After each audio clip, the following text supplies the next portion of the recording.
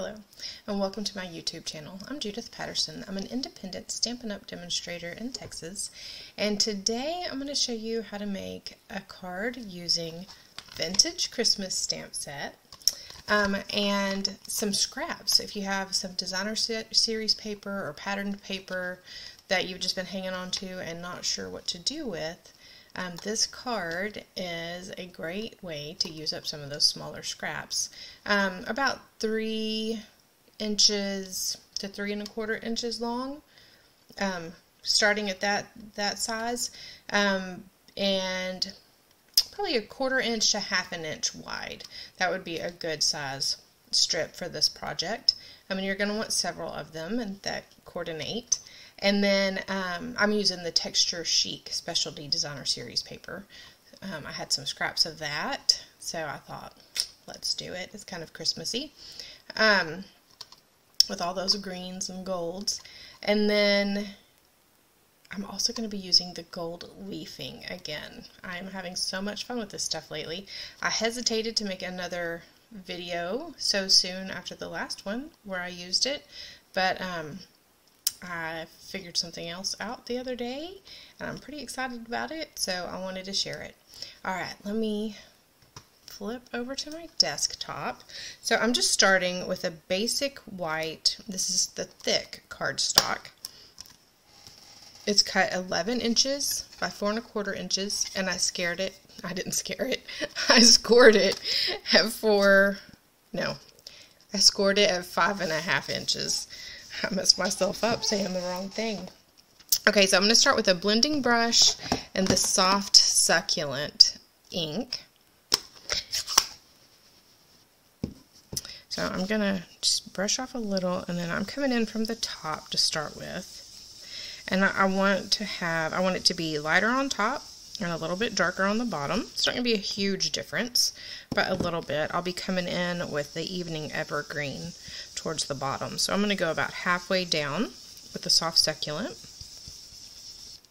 and hopefully getting a little darker as I go down.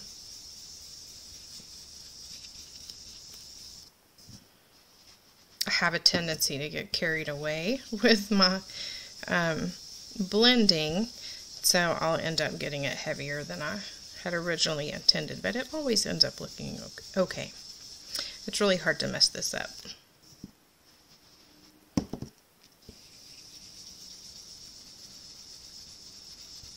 I love that you can just keep building color until you get it to where you want it.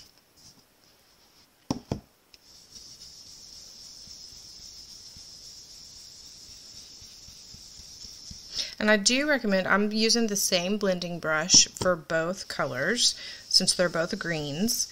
Um, I just recommend starting with your lighter color and then working up to your darker color.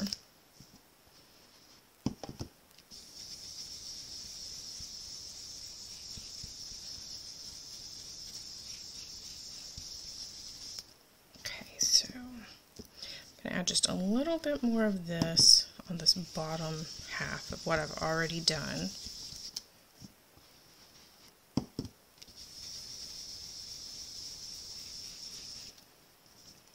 Do that one more time.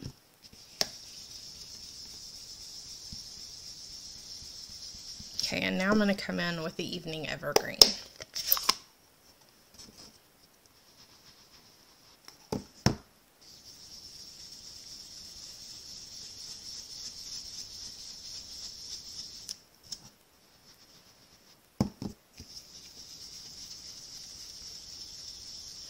Love having something like this big grid paper underneath my card as I do this so I don't have to worry about messing up my desk and getting ink all over it.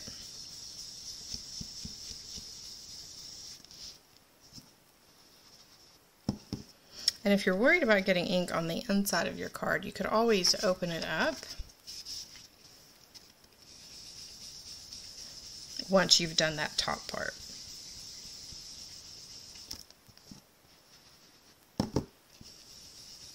I'm really wanting to build some color down here.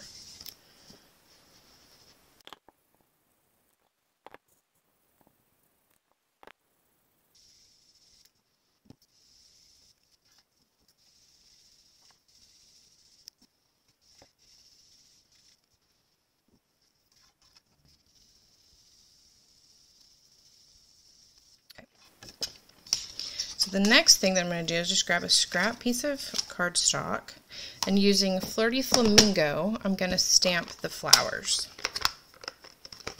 And I do recommend stamping them twice. Um, I'm just going to do once because I cheated and did a few things ahead of time this time.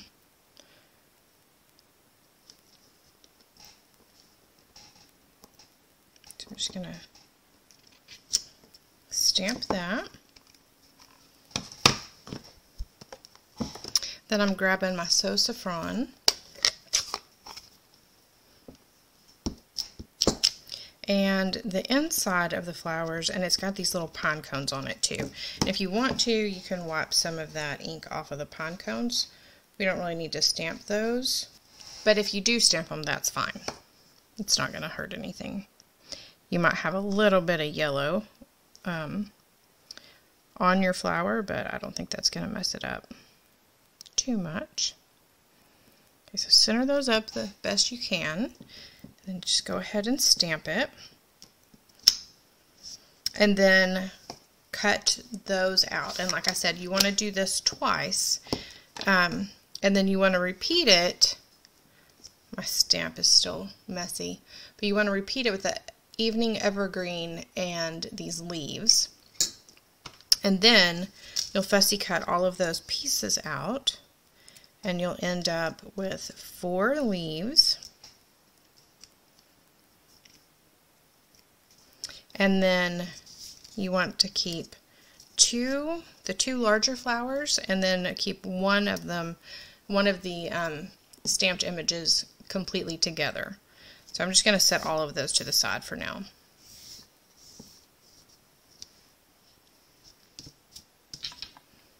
And now I'm pulling out the bottle stamp. So this is the larger vintage bottle stamp from Vintage Christmas. And I'm using Pool Party to stamp it.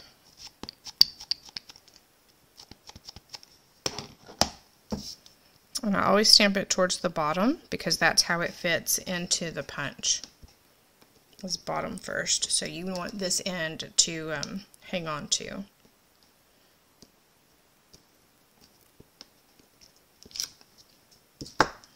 Okay, so this is two inches wide and four inches tall. And I will put these dimensions in the description. So if you um, want to screenshot them or just have that to refer back to, it will be available there. And they'll also be over on my blog post that um, goes along with today's card. Okay, so what I'm going to do now is get my silicone mat and a little bit of liquid glue. So I'm just going to put that in the corner. I don't need a lot, maybe a smidge more. And then I want my water painter. I'm going to squeeze a fairly decent amount of water in here.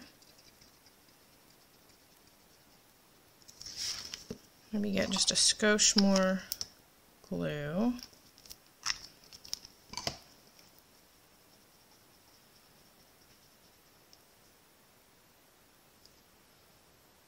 So I want to mix that up pretty well. And I want it fairly liquidy. I'm going to take this and just splatter this glue on the front of my card here. So again, you want something under your card base. So I'm going to let that sit for just a second.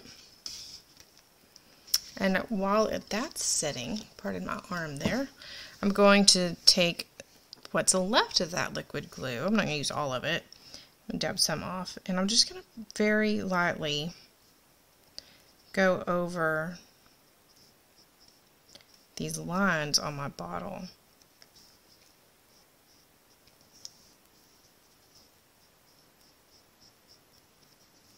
I'm not going one smooth motion. I'm picking my brush up and kind of streaking it across.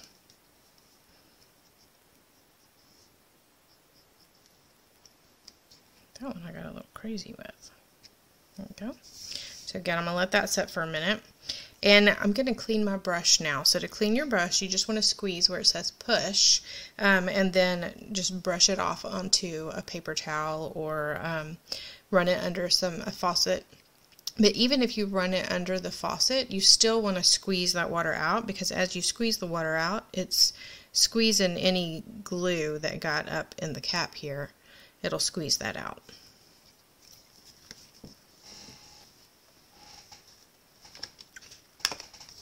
Okay, so now I have my gilded leafing in a separate container. It, you, when you order gilded leafing, it comes in this little container and it is really packed in there. I've been using this for a while and it still looks full. Um, so you just want to be careful with it. You don't want to have the fan going or anything when you open this up because it does fly everywhere. So I'm just going to place my card. Let's see, that's not going to completely fit in there. So I'm just going to smooth this over. I think, in fact, I'm going to use my brush. So you might want to do a little bit bigger of a container than I did. Usually I just do um, smaller pieces of cardstock when I'm using it. But I had realized I really like doing the whole card base. This makes a great background for all different kinds of projects.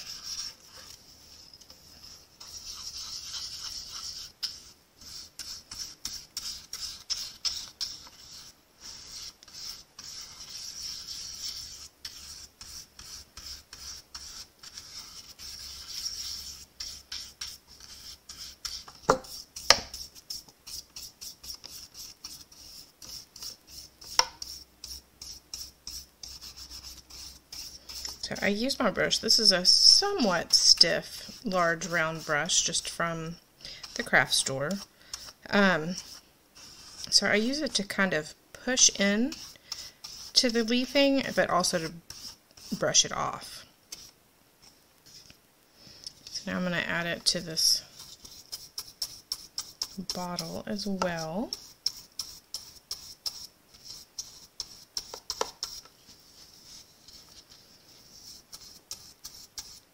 So I'm hoping that I didn't completely cover up all of those white lines, um, but I wanted just to add some gold accents.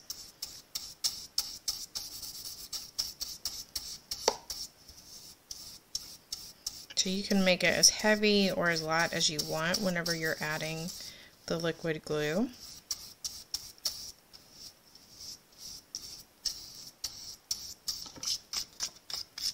However you want it. But I kind of wanted it to have that worn, um, vintagey look. There you go. So now I need to clean up all of this gold leafing. And I'll be right back. I don't think I got quite all that gold leafing picked up, but a lot of it is cleaned up now. That round brush sure does come in handy for kind of sweeping off my desk too. Oh, there's some stragglers. Okay, so now I'm going to take that bottle punch and go ahead and punch out the bottle.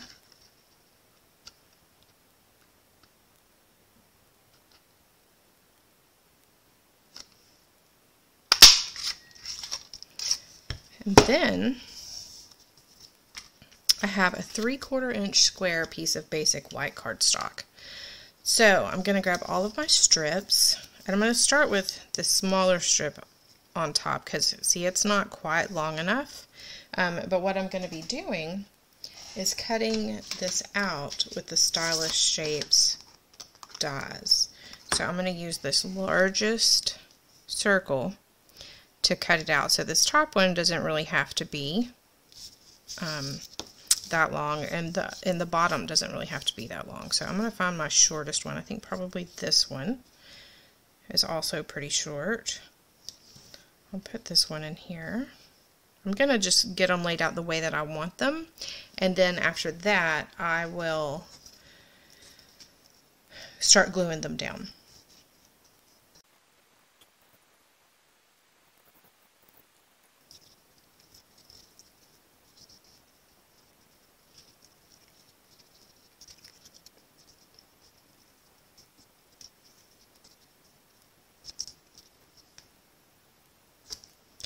think that's going to work.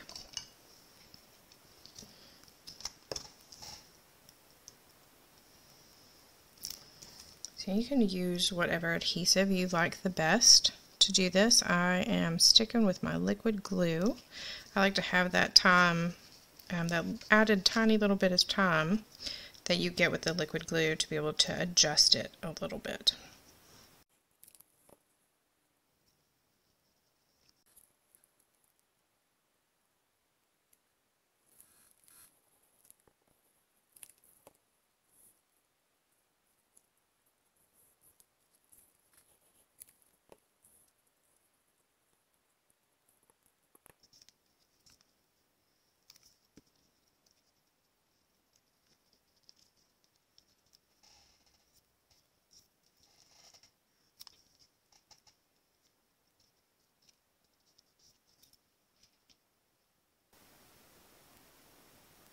Oh boy, that one's going to be cutting it close.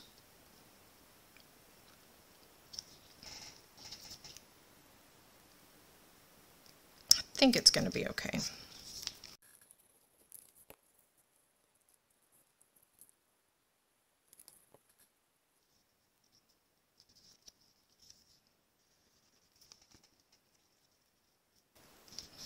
Okay, so I think I got a little mixed up and I should have put this one down here where this one is and flip-flop those a little bit.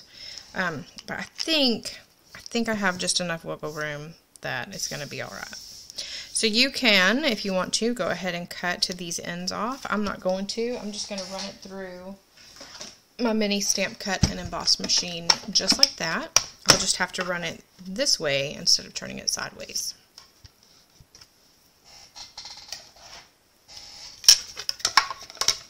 So remember to always stagger your plates in your mini cut and emboss machine to um, just help it to go through a little bit easier. Helps it to start easier. So I'm going to have to be really careful with mine to make sure that I don't have any white showing. I might have to get a little bit more creative than I had intended if um, if I have that too short. It doesn't grip good on this paper, so it's a lot better if you can have it straight on your desk without your grid paper. I just didn't make mine. I thought I could do it. And I did do it, but it was a little awkward, wasn't it?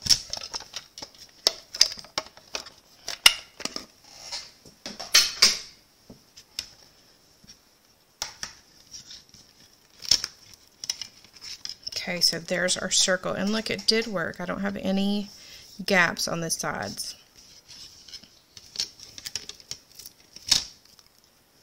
I love all the gold detail in this. I really recommend if you have um, patterned paper that has a little bit of gold in some of the sheets. It's just a fun accent. Or silver, or copper, or rose gold. Just something. Okay. So let's turn all of those over. This is going to go ahead and get placed, I think, I think I'm going to turn it like that. So you have this longer gold right up here at the top. So this I'm just going to go ahead and glue straight onto the front of the card.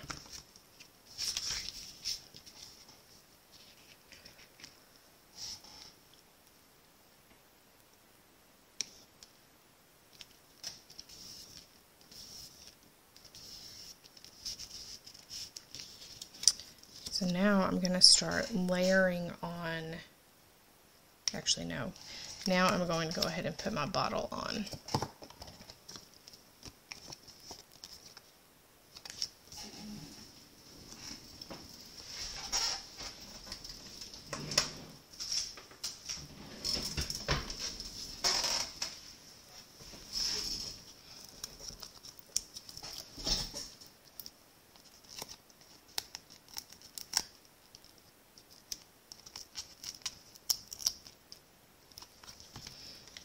This next little piece is optional, but if you have mini Stampin' Dimensionals, you might just put one right there on the neck. You can leave it off, or you can cut um, one of the regular size dimensionals in half and use it. Okay, so I'm going to place this right about there, I think. Now I'm going to start layering all of these flowers and things on. So I'm going to start by putting these larger flowers on with dimensionals. I'm just using two and I'm trying to get them kind of towards the center so that I can tuck some things up underneath them. So I'm going to place that hanging off the side. I think that looks good. So this one I'm going to tuck in underneath those. So I'm just going to place some liquid glue on the back. And here's where I have a little bit of that yellow pine cone. I don't even know if you can see it. So I want to tuck that pine cone splotch underneath. So I'm going to just put that under there like so. Then I'm going to use another dimensional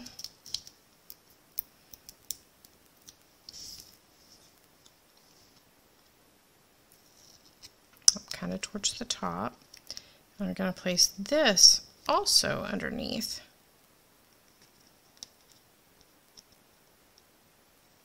Like so. So now I'm using my liquid glue again. I'm going to start with the bigger leaves. I'm just going to place this one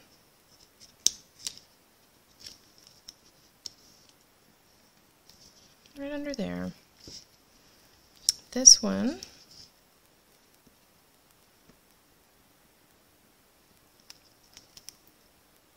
Just adding a little bit of the liquid glue on the end. And I'm going to see if I can't attach that right here to the bottle and have it just hanging down. I want to pull that down some.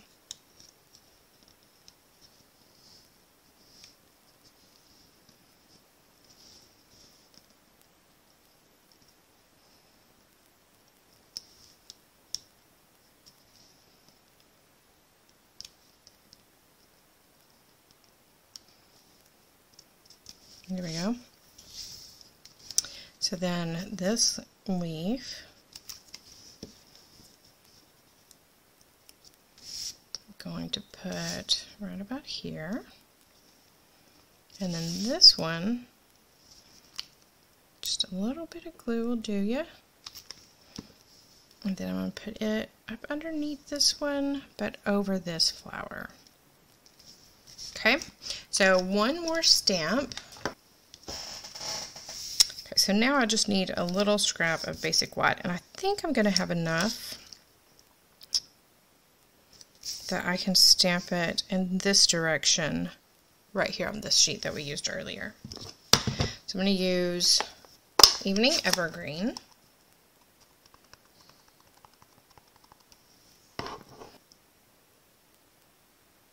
Just looking to see which side was cleaner.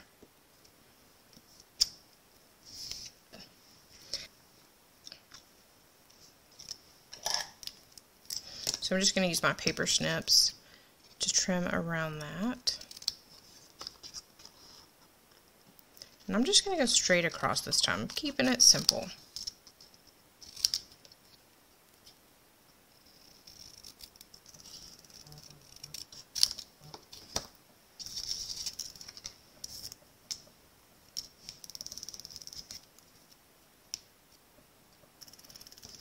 Gonna cut a little bit off of the top here.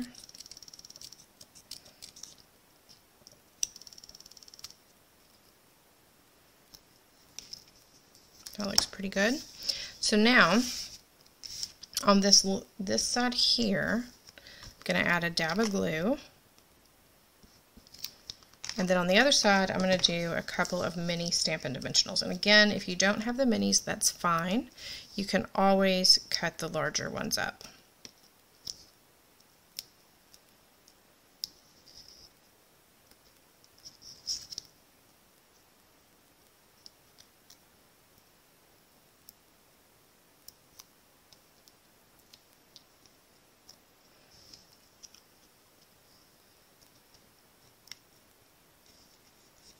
There we go. And there's our card. I just love that gilded leafing. It took me a while to really get into it, but now that I have, that's all I want to play with. Thank you for watching my YouTube um, tutorial today. I hope that you learned something or were inspired to create something yourself. Um, feel free, as always, to make this card at home um, exactly like I did, or you can tweak it. And if you tweak it, I would love to see it. So you could share it over on my Facebook page or send me a message. I would love to see what you're working on. I wanted to remind you really quick before I sign off of here that um, through October 31st, Stampin' Up! is offering the starter kit um, plus. So it's still $99 if you're in the US, but instead of picking $125 worth of product, you get to pick $155 worth of product. So the starter kit is what you make it. You can put any stamp sets, any ink, anything from any of the um, current catalogs, so the annual catalog or the mini catalog, as long as it does not go above $155. So um, it is a great time to join Stampin' Up! I would love to have you on my team. If you have any questions, then let me know um, and I'll be happy to answer those if you just reach out to me um, either on my blog in the comments below or over on my Facebook page. There's so many ways to get in touch with me. Um, you can send me an email. I'm good with that too. So, but anyway, I, I would be happy to answer any of those questions. And I wanted to make sure that you're aware there is no commitment to sell anything ever. Um, and there's not even a minimum time that you have to be a demonstrator. So um, it's a good, good deal if you are looking to build up your stamping stash. The other thing I wanted to remind you about is that this month is um, I have started sending out my 12 weeks of Christmas emails to everybody that's on my emailing list. So if you get my newsletter, you are already signed up. But if you don't, um, then sign up. You'll get my newsletter, eh, but you'll also get each Friday an email that is simply a tutorial for a Christmas project. So it might be a card, it might be tags, might be a gift idea. Um, who knows? It's going to be different every week, but the first three or four weeks will definitely be Christmas cards, and then we'll get into some of the other stuff later on. So if you're interested in that, then there's a link in the description where you can sign up for my mailing list. Um, if you're a demonstrator, that's fine. That's great. Um, go ahead and sign up. And um, I'd love it to have you on that list and be able to send that to you. It's just my way of saying thank you and Merry Christmas a little bit early. All right, y'all. Thank you so much for watching. I appreciate you. Give me a thumbs up if you liked this video. And if you haven't subscribed already and would like to see more, then go ahead and hit that subscribe button for me. Thanks so much. Happy stamping.